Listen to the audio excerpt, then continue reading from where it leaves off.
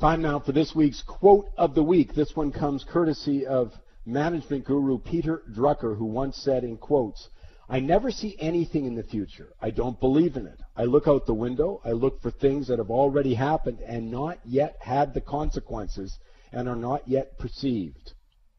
Gosh, welcome to Money Talks. That's all we ever do on this show.